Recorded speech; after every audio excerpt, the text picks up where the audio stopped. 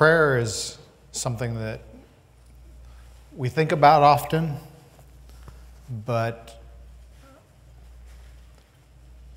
I wonder if we really think about it, how much of our day is spent in prayer. I was looking at the Ellen White estate, and there was a daily devotion that kind of got me thinking. Says, Solemnly, there come to us down through the centuries the warning words of our God from the Mount of Olives. Take heed to yourselves, lest at any time your hearts be overcharged with surfeiting and drunkenness and the cares of this life. And so that day come on you unawares.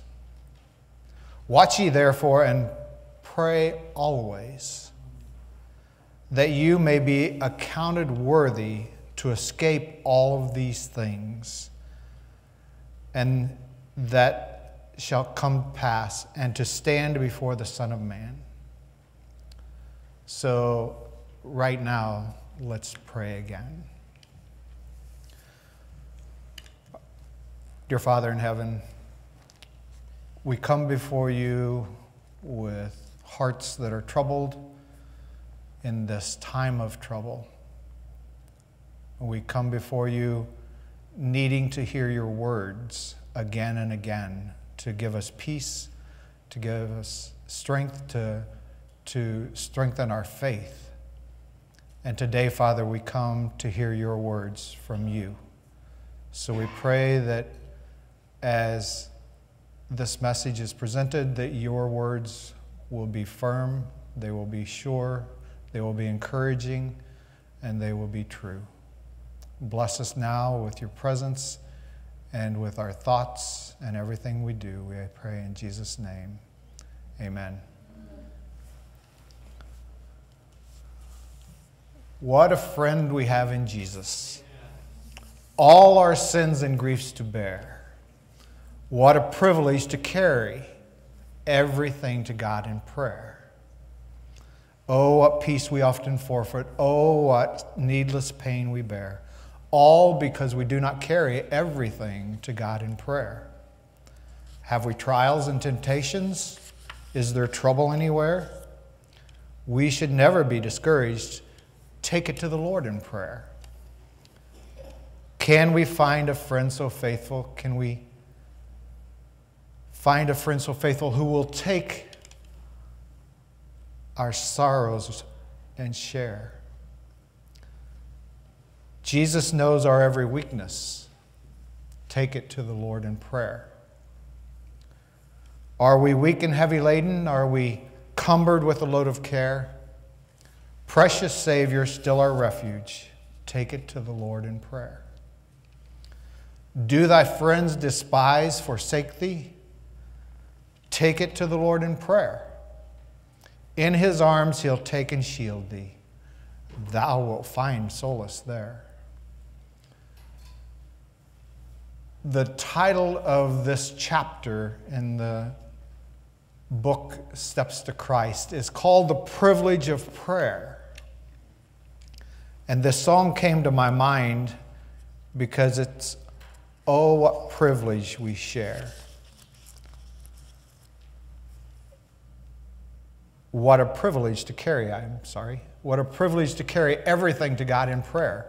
So, I want us to think today about this privilege, about prayer naturally. We've heard so many things about prayer through the years, but let's start at the very beginning again and why we need prayer. You see, in God's desire for fellowship, He created beings in His image. He wanted someone that he could provide everything for. He was going to give them a home. Actually, it was intended for us. He was going to give us food that we can't even imagine how good it was. He was going to give us a family. He was going to give us friends. He was going to meet every single need. He was going to share His goodness and His blessings with those who He created. Above all of those things, though, He really wanted someone to love and someone to love Him back. Now, He had the angels, they adored Him, but He wanted to create someone new, someone else who had been created in his image. In Matthew, Jesus talks about this fellowship in a different way.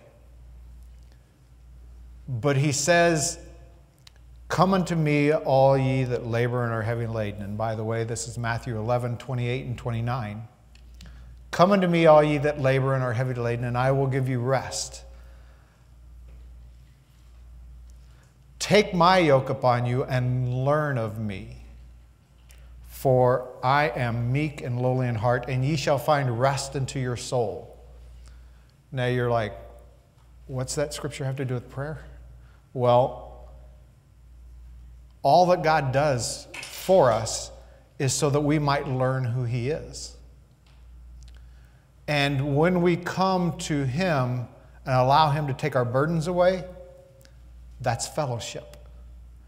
It's a different kind of fellowship than we normally think. But it's a working fellowship, working together. To learn of God is more, though, than just taking information.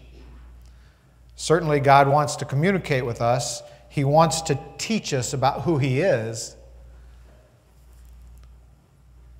His Spirit is constantly speaking to us through His Word through nature, through the blessings that He gives us, through the providences that we see.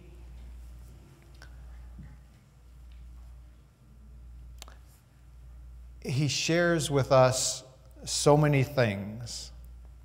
But in the book Steps to Christ, we see this statement In order to have spiritual life and energy, now, I want you to think about this. Do you want spiritual life and energy? A lot of us are tired a lot, and we want energy. But we don't want just energy to go out and run a marathon. We want energy to work for God. Amen. So, in order to have spiritual life and spiritual energy, we must have an actual relationship with our Heavenly Father. Our minds may be drawn out toward Him. We may meditate upon His works, His mercies, His blessings, but this is not the fullest sense communing, not in the fullest sense communing with Him.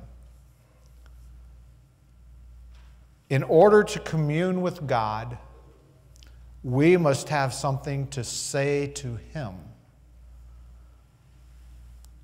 concerning our actual life. In this sense, prayer becomes more personal to us with our relationship with God. God becomes more personal to us because we're talking to Him. We would never think of trying to make a friend and just walking up to them and looking at them. Or even going up to them and just standing there listening to them. Okay, I want to know you better, so I'm going to listen to you.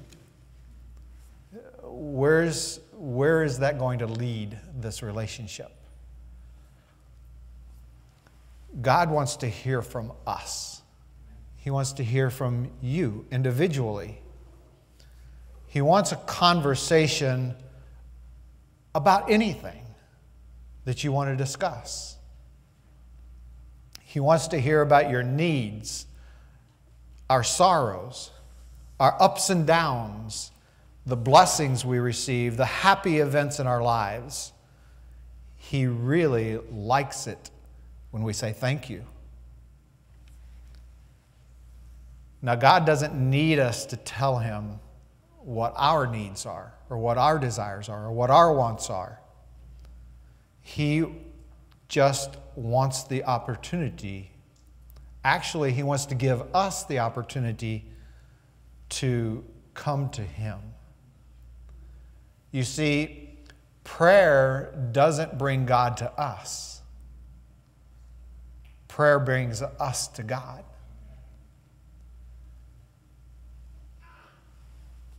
Jesus came to this earth to show us who the Father was.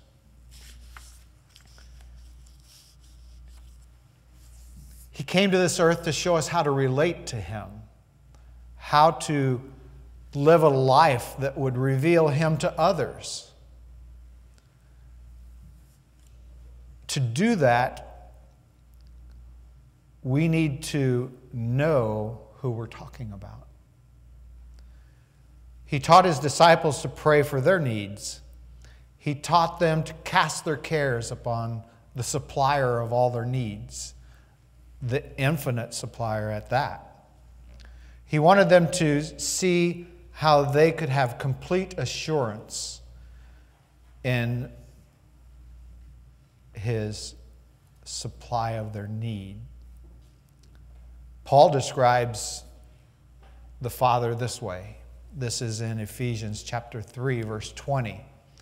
Paul says, Now unto him that is able, able means he can do it, right?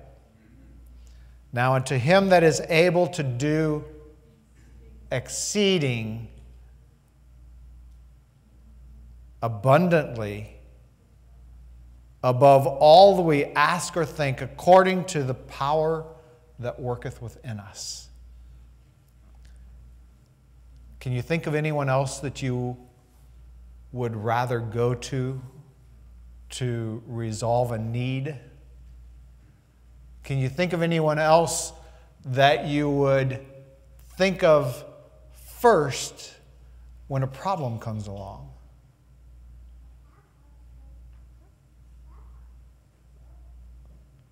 That's kind of a a double sided question.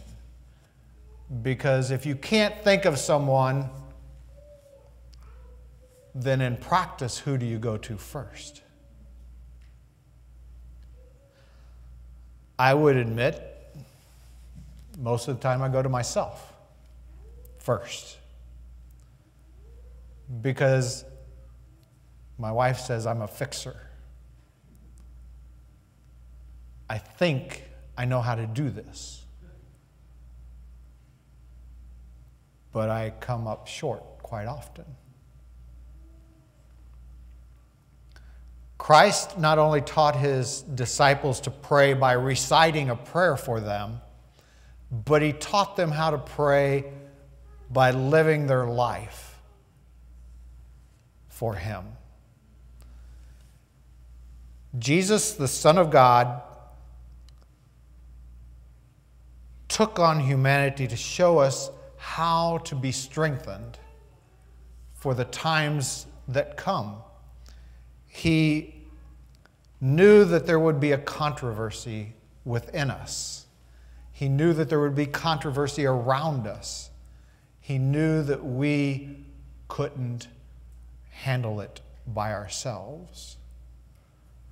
So Jesus came to show us how to do this. And he did it by becoming a man like us. Hebrews, the fourth chapter, verse 15, tells us about Jesus. He was tempted in all points, like as we are, yet without sin.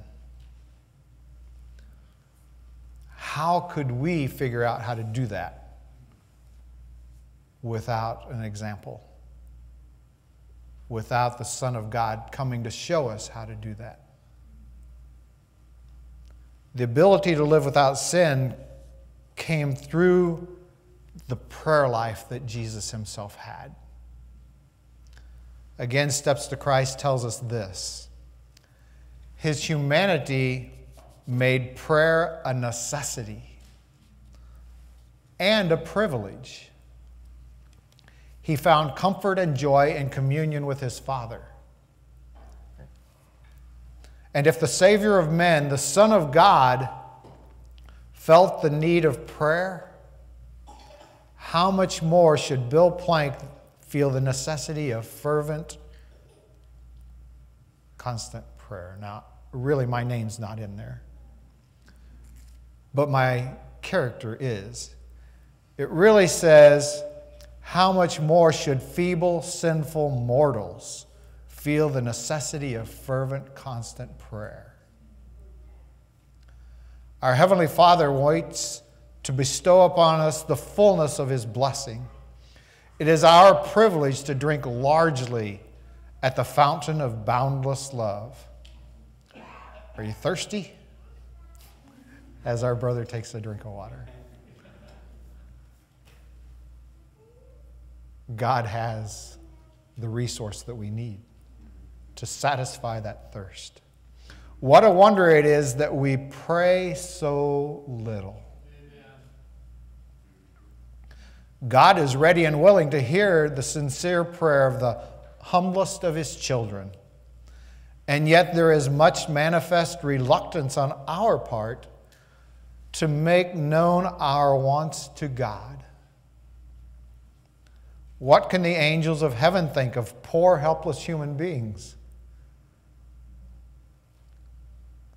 who are subject to temptation when God's heart of infinite love yearns toward them, ready to give them more than they can ask or think?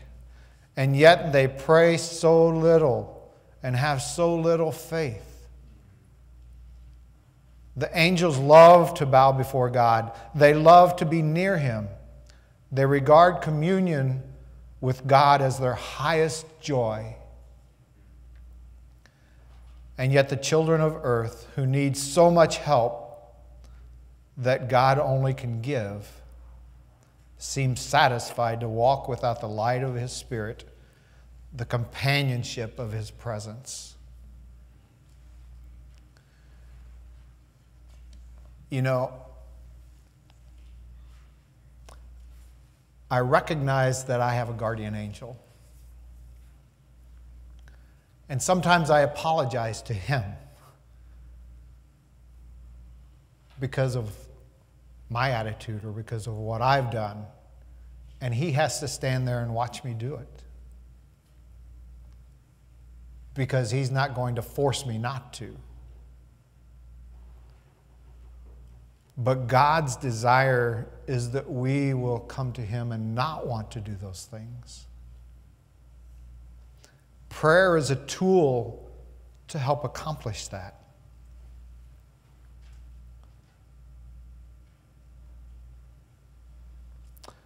God is ready and willing to hear the sincere prayer, he says.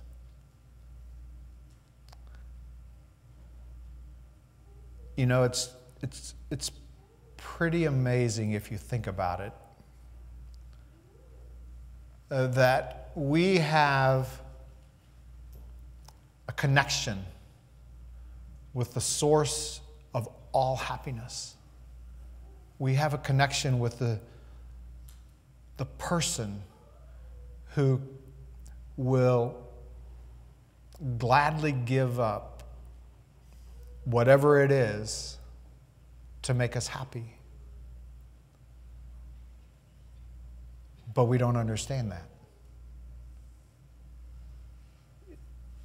First of all, we may feel that we're too sinful to come to God. We may feel that He is not willing, and sometimes it might cross our minds that He's not able to forgive us anymore. We think He's not able to do what He said He could do. Because our focus, our sight is on us instead of Him. Secondly, we may be so entrenched in our struggles here on this world that we forget about Him. I have this list of things to do, and if I don't get it done by this date, it's going to be bad.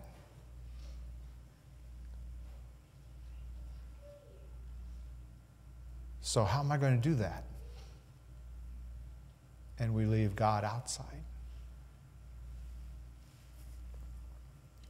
Still, more than that, maybe we've walked away from Him. Maybe we've forgotten how He has loved us in the past, how He has taken care of us in the past. But we see that Jesus, who became sin for us, as it says in 1 Corinthians 5:21, that we might be made righteousness, the righteousness of God in him.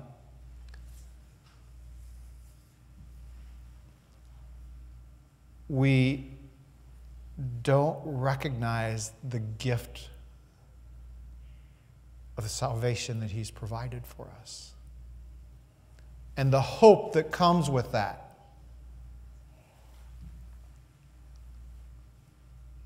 Now, we are talking a little bit about prayer and the, the actual communion with God, talking to Him in person, personally. But how can we really be sure that our prayers are answered? We hear quite often testimonies of answered prayers. And yet, my prayer may not be answered. At least I don't see the answer. One of those stories where prayers are being answered and I say are being answered because the end is not yet defined. But there is a gentleman in the state of Washington who has COVID. And last week, he was, his family was told he's not going to make it. It's over. Can't do anything more. So, the Adventist Prayer Network you know what that is, right? That's me calling you, calling someone else, calling. I don't know how many people are praying for him. A thousand? More? By the end of last week, he was off the ventilator. He was starting to eat. And he's moved to a regular hospital room right now. Amen. Eating more, taking it easy. Prayer works. The doctors who had committed him to, to a certain death now recognize a miracle happening.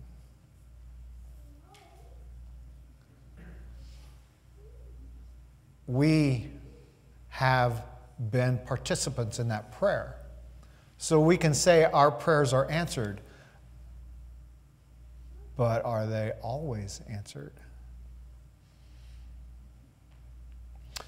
We can look at the life of Jesus with regard to prayers, but not just his own prayers, prayers that he describes and talks about. For instance, one day Jesus and the disciples are standing near the temple and they see a man walk up to the corner of the main street there so everyone can see, and he begins to pray. You know the story. He says, God, I thank you that I'm not like the rest of these men. And he goes on to delineate the things that they do and he doesn't do. And then he talks about the things he does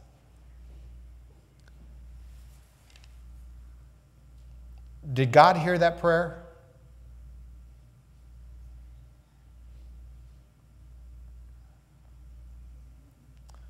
God has ears, doesn't he?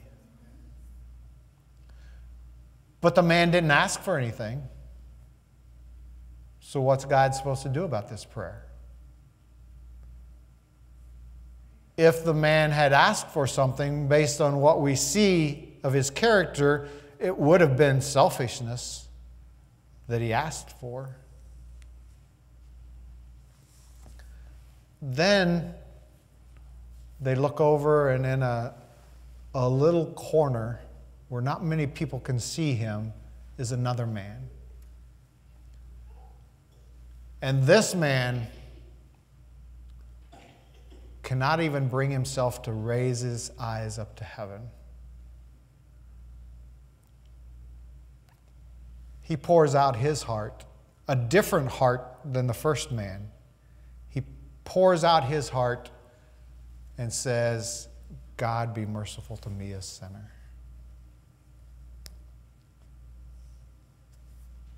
Which prayer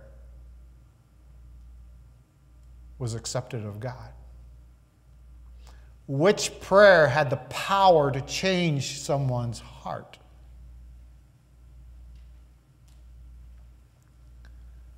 It is true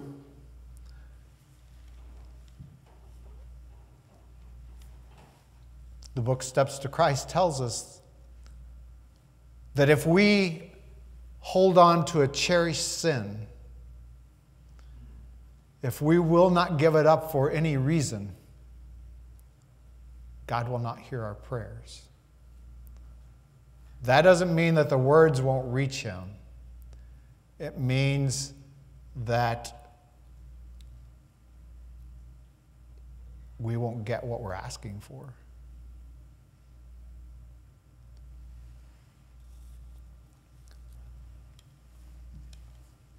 The publican sought God's will for his life. I don't know how many of you know or knew Richard O'Ffill. He wrote a book on prayer. But one of the things he said that always remains with me is God always wants to say yes. And he likens it to a man coming home from work. And he asks his wife, Do you want to go out to eat tonight? Is she going to say no? So when we ask God, if we're asking Him for His will, for the things He wants for us, He's not going to say no. If I say, Father, forgive me, and help me to repent of this sin that I just can't beat, He wants to help me. He wants to forgive me. So He's going to put His efforts there.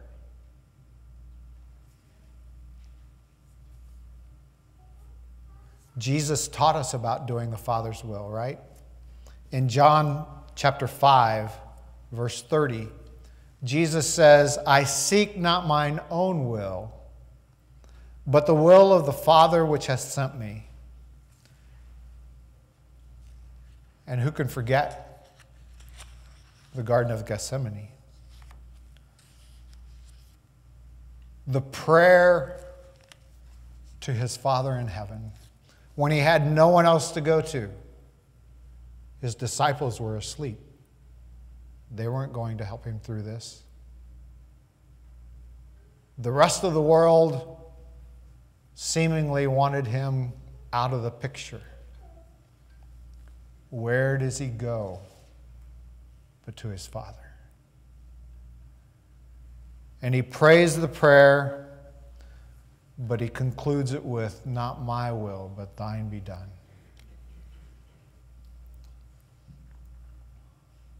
In God's graciousness and mercy, he sometimes may not answer the prayer we want. But when we say, Thy will be done, how many of you are excited to see how He will answer that prayer? Because He has ways that we have no imagination to accept.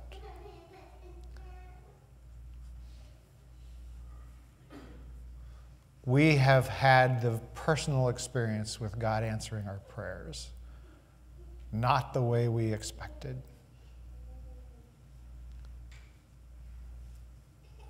I'm here today because God put me here, not the way I expected.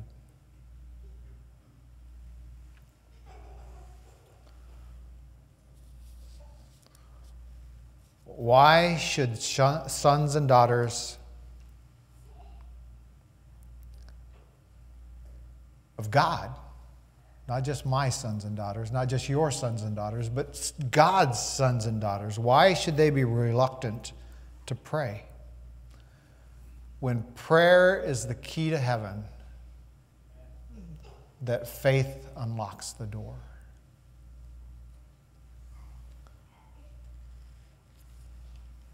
Where are the treasured?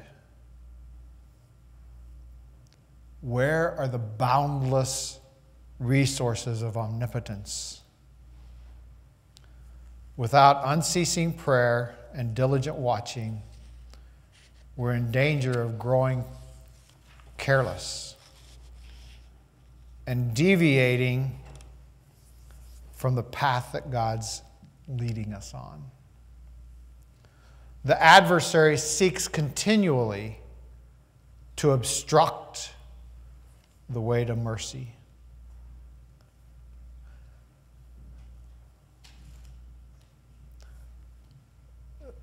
Our earnest supplication and faith is what it takes to obtain that grace and power to resist temptation. And yet again, as available as it is to us, we don't avail ourselves of it as often as we should.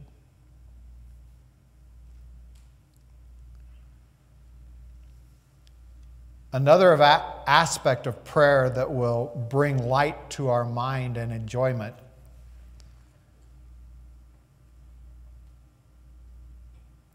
enjoyment not just to us, but also specifically to God, is the practice of praising Him for who He is. Praising Him for what He has done for us. Amen. Praising Him for what He has promised to do.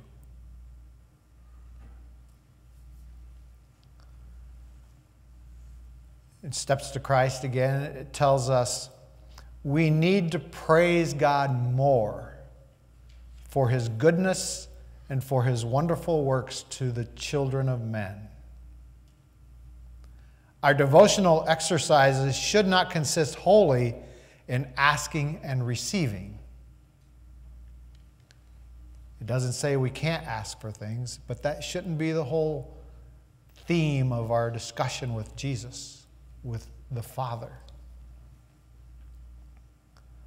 Let us not be always thinking of our wants and never of the benefits we've received.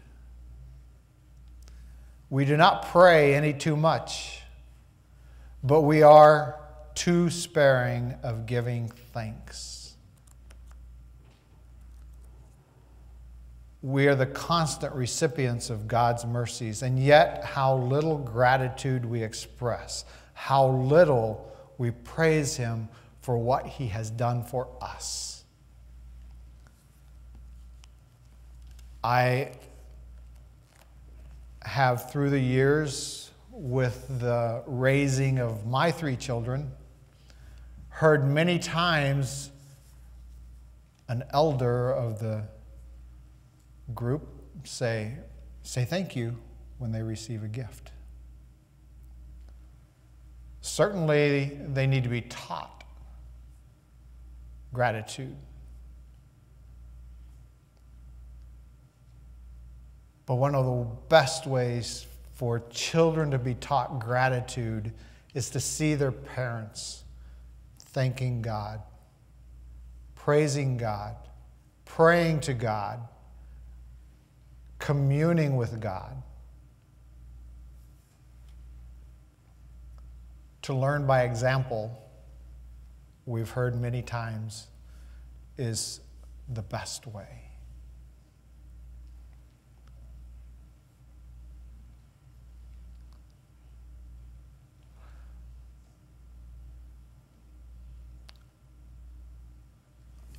Still, again, in the book Steps to Christ, it says, we need to praise God more for his goodness and for his wonderful works to the children of men. I just read that. But it goes on. And it says, the soul may ascend nearer heaven on the wings of praise. God is worshiped with song and music in the courts above. And as we express our gratitude, we are approximating to the worship of the heavenly hosts. Whoso offereth praise glorifieth God. Psalm 50, 23. Let us with reverent joy come before our Creator with thanksgiving and the voice of melody. Isaiah 51 3 tells us that.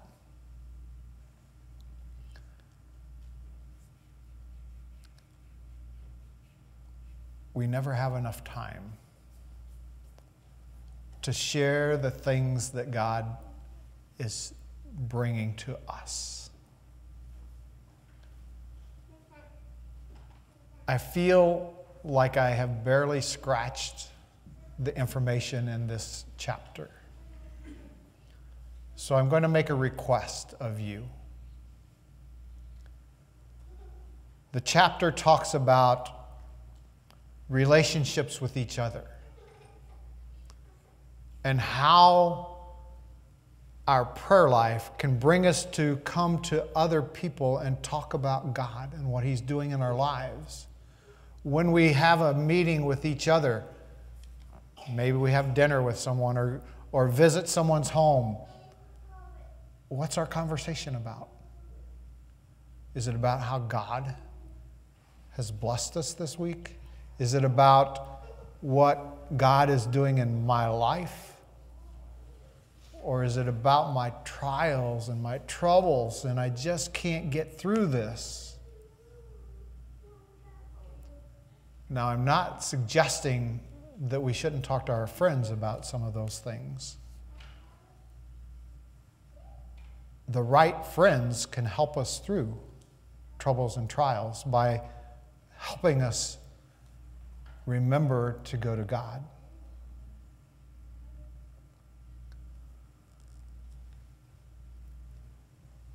But the faith that comes from a faithful friend is something that is a blessing more often than not, more than we understand.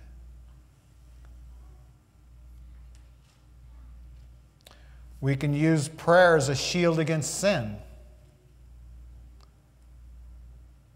But that's more than just a statement that I don't have time to go into.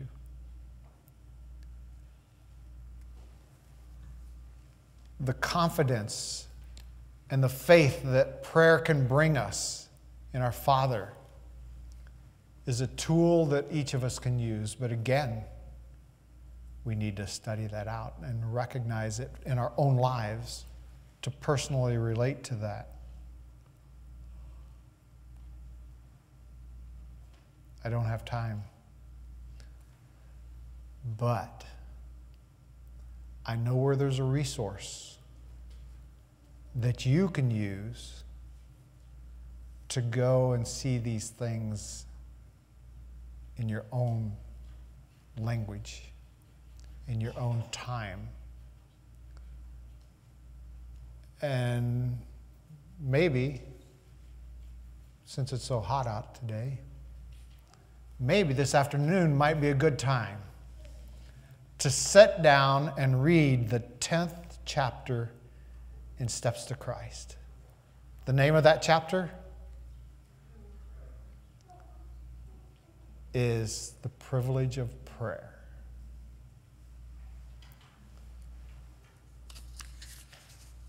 You will be convicted if you open your heart. God will come in and He will show you what prayer can do for you personally. If you want the best gift,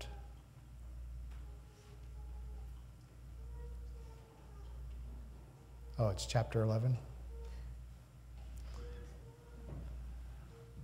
The chapters in my book don't have numbers.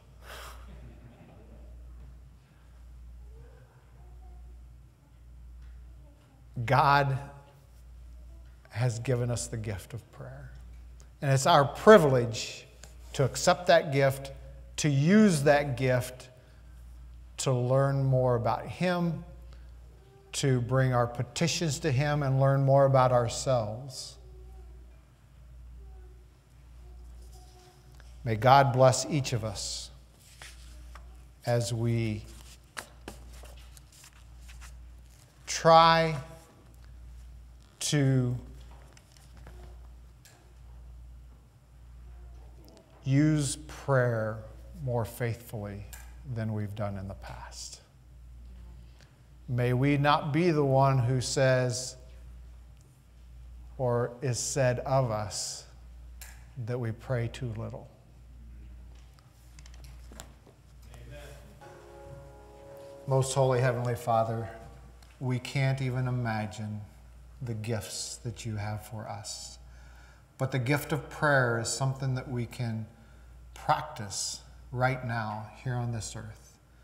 And Father, we want to know you better. We want to be able to talk to you, to converse with you, to commune with you. We want to be able to see why things are happening to us. We want to be able to know the future. And while some of those things are not for our time, you still want to hear about our day. You want to hear about our thoughts and our needs and our reactions to our family and to our friends and to the troubles that we have. Father, you want to hear everything about us. We don't even want to hear everything about our family, Father. Change our hearts. Create a new heart within us bring us a right spirit and turn our thoughts and our minds to you so that we will want the best for our family. We will want to be with them always. We will want to hear everything about their day. And Father, may we, through our communion with you, be able to help finish this work so that Jesus can come back to take us home. Forgive us for our sins. Put a new heart within us. And may Jesus come soon, we pray in his name. Amen.